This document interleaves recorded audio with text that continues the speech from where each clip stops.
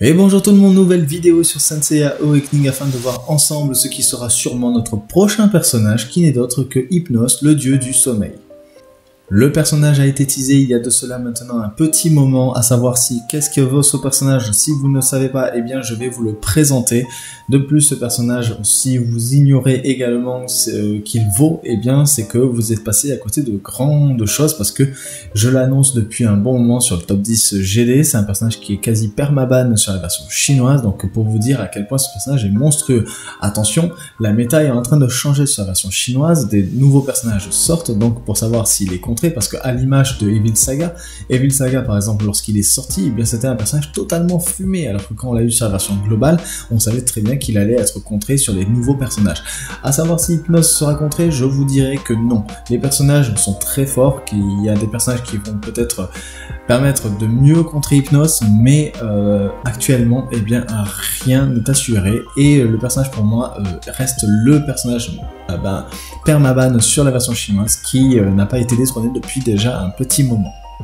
Hypnos est un personnage avec de très bonnes stats. Il a une stat S en défense cosmique et en vitesse. Et après tout le reste c'est du A, sauf bien sûr l'attaque cosmique qu'on s'en moque complètement ici, qui est en C si je me souviens bien. Et après, vous pouvez voir également que même si la défense physique est A et la défense cosmique est S, eh bien on remarque que elles sont équivalentes. C'est-à-dire qu'il y a autant de défense cosmique que de défense physique de base. C'est un personnage qui a de très bonnes stats, il n'a pas à en rougir, et nous allons voir justement plus tard comment équiper ce personnage. Il a la chance d'être très bien situé dans les maisons de fleurs car il n'est qu'avec des personnages récents, ou du moins des personnages que vous avez potentiellement monté 6 étoiles. Si ce n'est pas le cas pour tous, peut-être qu'il y a Evil Saga que vous auriez skip. Même si c'est le cas, eh bien ce personnage, eh bien peut-être quelque chose me dit que Evil Saga n'est pas forcément mort et qu'avec un petit RC il pourrait revenir dans la game. Je précise ici que sur le screen, eh on voit Thanatos, Thanatos qui sera dans cette même maison d'ailleurs, un personnage qui n'a pas été encore sorti sur la version euh, SEA non plus. C'est un personnage qui arrivera sûrement sur la globale dans un petit moment maintenant, peut-être dans deux mois je pense, étant donné que les personnages SS sortent tous les deux mois pour le moment sur la version euh, globale en tout cas. Avant de vous présenter les skills du personnage, juste qu'il était important de vous parler de ce qu'est un saut du cauchemar, parce que tout le personnage tourne autour de cela. Alors, les sauts du cauchemar sont appliqués sur les ennemis avec un maximum de 2 et lorsqu'un ennemi attaque, eh bien il consomme une marque pour tomber dans un cauchemar. Quand il est dans un cauchemar, eh bien, il est impossible pour lui d'agir en dehors de son tour. Il se réveille à sa prochaine action, mais retombe dans un cauchemar s'il continue à avoir des marques au-dessus de sa tête. De base, on vous dirait que le personnage, en fait, des marques d'hypnose ne pourrait pas être euh, enlevé. Euh, en revanche, avec des nouveaux personnages, eh bien, cela est finalement possible puisque nous avons Rune du Balrog qui le fait. Si vous ne connaissez pas Rune du Balrog, eh bien je vous invite à aller voir ma vidéo que j'ai faite là-dessus. Le personnage a un petit peu changé mais les, changements sont mis dans la description de la vidéo. On attaque la description d'Hypnos avec son skill 3 et non le 1 parce que c'est avec celui-ci que tout commence. Avec ce skill, vous allez sélectionner un ennemi, avoir 50% de chance euh, au niveau 1 de lui appliquer un saut du cauchemar et en parallèle, vous allez changer totalement le visuel du terrain qui signifiera que vous êtes entré dans le rêve éthéré. Ce changement de terrain est très important ici pour Hypnos car sans celui-ci, eh bien vous ne pourrez pas faire tomber les ennemis dans un cauchemar. Le rêve éthéré dure 5 tours et de plus, ce qu'il faut savoir c'est que lorsque vous le lancez, eh vous avez 40% de chance d'avoir une action supplémentaire, bien sûr encore ici au niveau 1. Et une fois utilisé, ce skill est remplacé par un autre qui s'appelle inversion de réalité que nous allons voir tout de suite. L'inversion de réalité est un skill qui coûte finalement 1. Alors tout à l'heure le skill coûtait 2, ici il coûte 1 donc c'est déjà pas mal. En plus, vous allez remplacer tous les buffs de l'ennemi par des sauts du cauchemar. Attention, je vous rappelle que chaque ennemi ne peut avoir que deux sauts du cauchemar. Donc là, vous ne pourrez pas en appliquer plus de deux par personnage.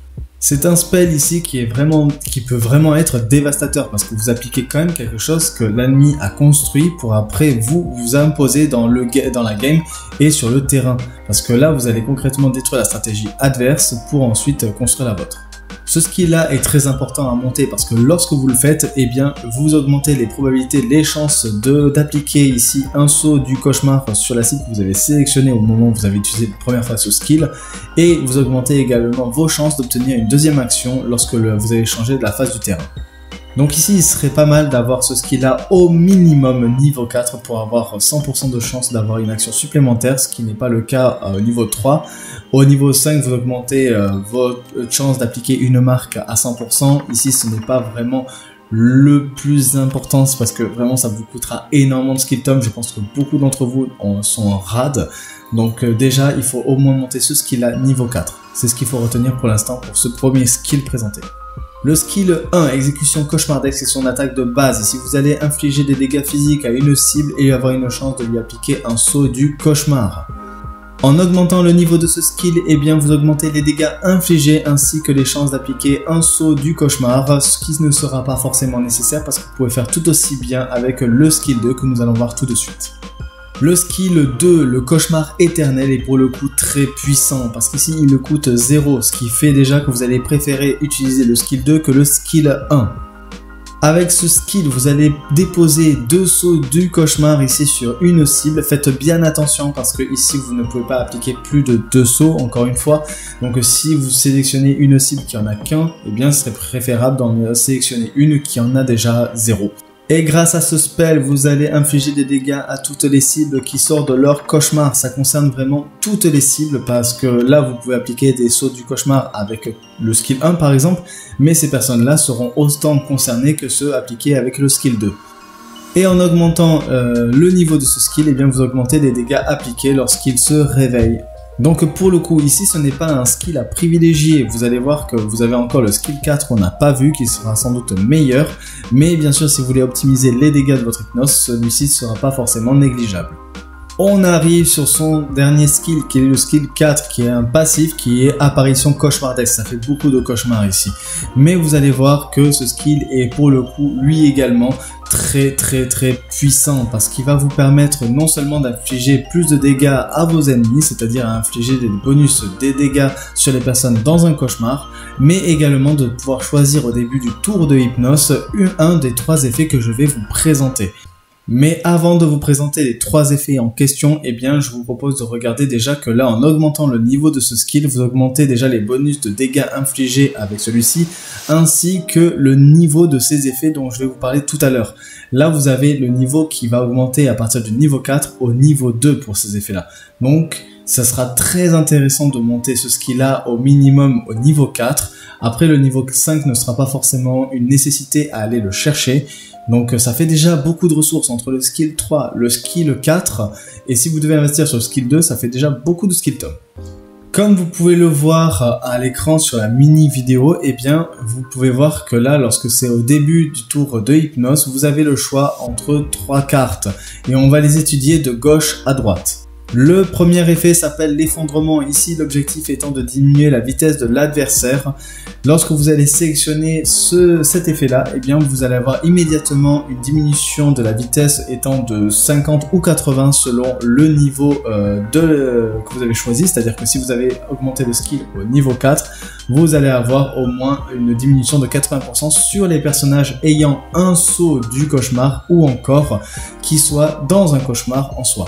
La deuxième chose à savoir sur ce skill, c'est que lorsqu'un ennemi va attaquer, bien sûr lorsque tous les ennemis vont attaquer, vous allez avoir une diminution de vitesse étant de 30 ou de 50 selon le niveau de l'effet qui va s'appliquer sur toutes les personnes étant dans un cauchemar. Je précise bien ici que ce sont les personnes étant dans un cauchemar parce que le, le premier effet concerne pas seulement ces personnes-là, mais également les personnes ayant un saut du cauchemar. Donc là, c'est un double debuff pour ces personnes-là. Et euh, tout le long euh, de la game, c'est-à-dire pendant le tour, là, les personnes qui vont attaquer vont tomber dans le cauchemar et ils vont se sentir aussi affectés par les prochains, euh, les prochains ennemis qui vont attaquer. Les debuffs de vitesse durent deux tours, donc vous avez facilement l'occasion ici de déstabiliser l'ordre d'avancement des personnages adverses, de déstabiliser leur synergie, donc ça veut dire qu'avec Hypnose, vous pouvez vraiment faire énormément de choses. C'est pour moi l'un des personnages les plus complexes et les plus compliqués ici, et ça explique sans doute pourquoi ce personnage est tellement permaban. Le deuxième effet s'appelle ruine. Ici, c'est la même chose que pour le premier, sauf qu'à la seule différence, vous allez infliger des dégâts au lieu d'appliquer des debuffs de vitesse. Donc vous allez appliquer des dégâts plus ou moins importants selon le niveau à laquelle vous avez augmenté ces effets-là, entre 1 et 2 par rapport au skill 4. Et le dernier effet s'appelle perdu ici. Vous allez avoir un skill qui va vous permettre de vous healer, donc qui va vous healer avec une hauteur plus ou moins importante selon euh, le nombre d'ennemis étant sous l'effet de cauchemar. Donc vous allez dans un premier temps avoir des ennemis en cauchemar. Euh, lorsque vous sélectionnez euh, ce skill là, eh bien vous allez être healé. Et au moment où chaque adversaire va attaquer, vous allez appliquer des dégâts sur tous les ennemis en cauchemar. De plus, vous allez être healé en parallèle. Donc en gros, comment ça fonctionne? Eh bien, tour 1, vous allez dans un premier temps changer la phase du terrain. Ensuite, avec la seconde action, vous allez appliquer deux marques avec le skill 2 sur un autre adversaire que la première personne que vous avez choisi pour lui appliquer une marque. Ensuite, tour 2, vous allez essayer de encore d'appliquer des marques avec le skill 2 ou encore de euh, utiliser le skill 3 pour enlever les buffs potentiels des ennemis. Bien sûr, ici, l'objectif étant d'appliquer le plus de marques et de sélectionner les bonnes cartes selon euh, pour appliquer l'effet que vous désirez selon votre stratégie. Pour ce qui est du up des skills, eh bien, je vous conseille de monter le skill 3 déjà au niveau 5. Bien sûr, si vous ne pouvez pas, si ça représente trop de skill tom, je vous conseille de le monter au minimum niveau 4. Après, vous avez le skill 4 qui est pour moi euh, très important à monter, donc je vous conseille de le monter niveau 4 pour euh, pouvoir avoir le niveau suivant des effets, des trois effets proposés. Et si vous avez encore des skill tom, eh bien, je vous conseille, je vous invite à monter le skill 2 qui va vous permettre d'infliger beaucoup plus de dégâts. Après, si vous avez monté déjà ça, vous avez un hypnose qui est d'ailleurs du feu de Dieu. En rouge, pour les runes, eh bien, je vous conseille des pierres P. Pour les, les jaunes, je vous conseille soit empreinte spirituelle ou ténacité pour le moment. Après, pour ce qui est des bleus, je vous conseille des New Moon ou encore des cristals de feu selon votre stratégie. New Moon pour être plus défensif et en vitesse, avec, alors qu'avec cristal de feu, bien sûr, ça sera plus de dégâts. Et ensuite, la rune légendaire, vous pouvez choisir soit euh, le serpent à deux cornes pour infliger des plus gros dégâts, soit un décélérateur pour pouvoir euh, appliquer plus bah, d'effets de, ralentissement. Et encore, vous avez la possibilité d'utiliser une iris pour pouvoir euh, permettre à tous vos personnages d'attaquer beaucoup plus rapidement. Moi personnellement, je le jouerai sûrement avec un serpent à deux cornes. Après, bien sûr, selon la méta et ce qui se joue, eh bien, je jouerai différemment. Pour ce qui est des compositions de team, eh bien, je vous invite à aller voir les top 10 GD que j'ai fait parce que à ce moment-là, eh bien, Hypnos était déjà sorti. Vous pouvez voir Hypnos qui est très rarement joué sur la version chinoise, mais lorsqu'il est joué, eh bien, il punit énormément l'adversaire. Vous avez beaucoup de teams qui sont possibles avec lui.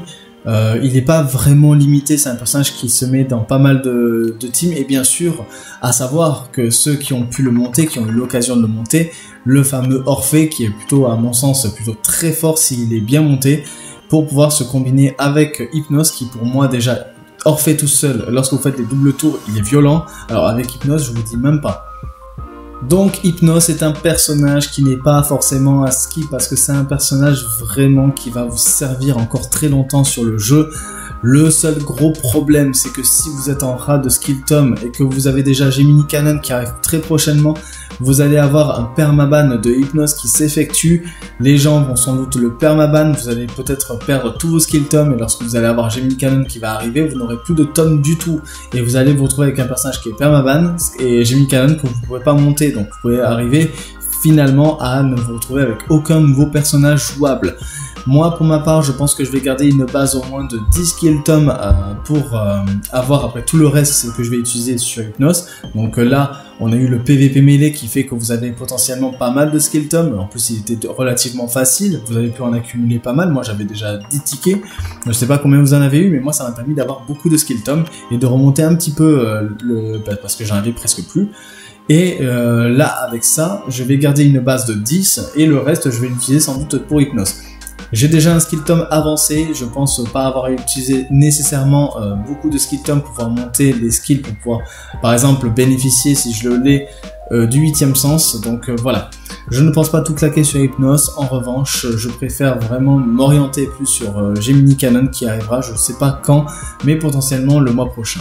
Et voilà, c'était tout pour cette vidéo. J'espère qu'elle vous a plu. Si c'est le cas, n'hésitez pas à mettre un pouce bleu. Si je n'ai pas été clair, n'hésitez pas à vous manifester dans les commentaires, de me follow sur Twitter pour voir la plupart des référencements. C'est là où je les mets.